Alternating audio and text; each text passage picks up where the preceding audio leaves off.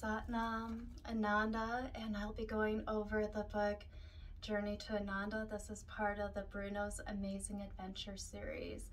So with this book, I am going to go over our first technique, that of grounding. The story goes where Bruno gets off a plane in New Delhi, India to see his friend Ananda. When he gets there, the guide Mala, who's an elephant, is leading him along the way.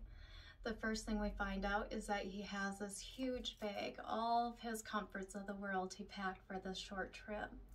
So as they're going through the crowd to get to Ananda and Amritsar, he was getting further and further behind Mala and all of a sudden he couldn't see her anymore and he's in this foreign land. So there we're going to pick it up. And this is the first page here that we'll be picking it up from. So it says, lost in a city of strange people and animals, Bruno quickly lost his excitement to see Ananda and started to worry. What if Mala couldn't find him? What if he stayed lost? How would he get help? How would he get home? Thinking these thoughts, Bruno's worry quickly turned to fear. This lasted for a time until Bruno remembered the practice Ananda had taught him before she had come to India. It was called grounding. Bruno thought now might be a good time to try it. He placed his back paws squarely on the earth and folded his front paws over his heart. He closed his eyes and took deep breaths, inhaling through the nose and exhaling through the mouth. He imagined that he was breathing light, warm, glowing thoughts down through the top of his head. As he exhaled, he imagined the thoughts moving out through his heart, sending joy and love to others. In through the nose and out through the mouth. He focused on the breath over and over. He imagined his friends back in Colorado greeting him with hugs. He imagined exploring his home, and eventually he focused on the warmth of the sun and the joy and love his friends brought to him. So with this book, there are these techniques that honestly for adults this a lot comes from even that of HeartMath. so they started with adults doing it and it was so successful that they brought it to children. So what we're going to be doing here is that of an L breath. On the L breath it means that you're taking in that intention that breath in from the top of the head and then exhale on the L part we're going to be focused on the heart center. So as we're doing this breath it's in through the nose and out through the mouth you can imagine as you breathe in any type of warm thought you have. Um, it can be that of your children, it can be that of your pet, it can be that of your favorite vacation place, ice cream. I imagine this being something huge that can be interactive with children while you're doing it, that they can start calling out their favorite things because as they do this, it brings that excitement and that joy. And with HeartMath, what they want is to have the mind and the heart to be entrained into that heart center. This is the electromagnetic field. This is the greatest place. So then you bring that frequency and you hold that healing space for others.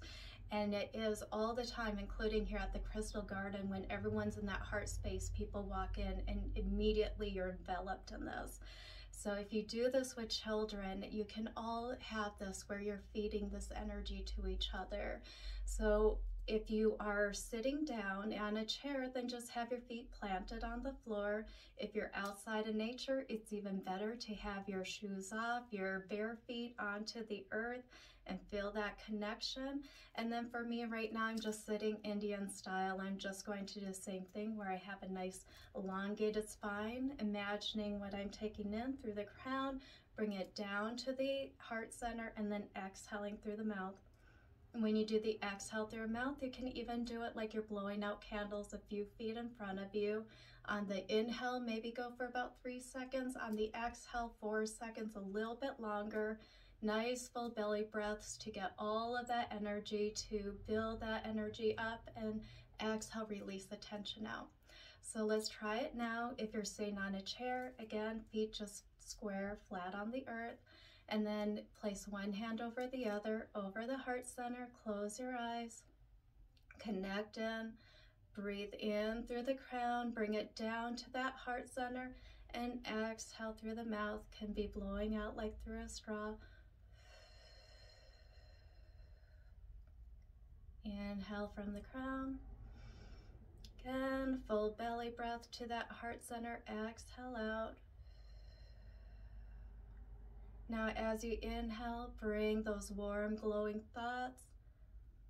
And as you exhale, send that gratitude, that love and joy out to others. Keep building this energy each time.